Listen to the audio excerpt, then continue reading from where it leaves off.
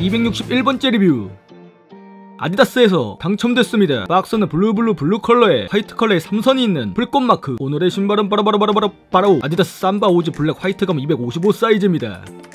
깔끔하게 장갑 끼고 오픈 오픈 아니 약간 비치는 종이 속지엔 아디다스 로고가 박혀 있습니다. 종이를 걷고 꺼내면 나오는 아디다스 삼바 OG 블랙 화이트 검 또 종이를 걷고 꺼내면 나오는 반대편 아디다스 삼바 OG 블랙 화이트 검입니다. 왼발에는 달려있지 않고 오른발에는 달려있는 아코탭 확인 썸네일 확인 앞모습은 이렇게 측면은 이렇게 뒷모습은 이렇게 밑바닥은 이렇게 다른 측면은 이렇게 생겼습니다. 아코탭이 달려있지 않는 이걸로 자세히 보겠습니다. 삼바는 이것으로 세 번째 리뷰입니다. 오리지널 삼바는 처음 리뷰해보는데 비건 삼바와 비교해보실 분들은 우측 I를 클릭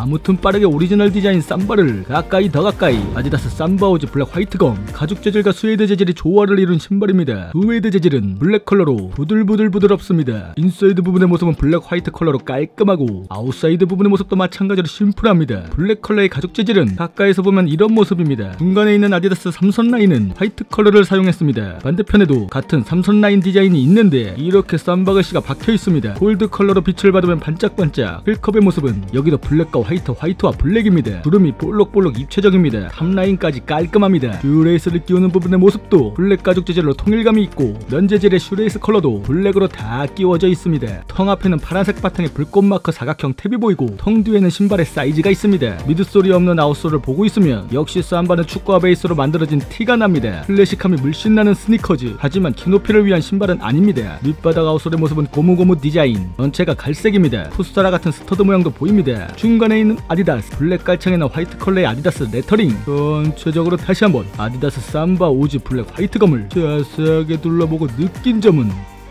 음 역시나 구분 났습니다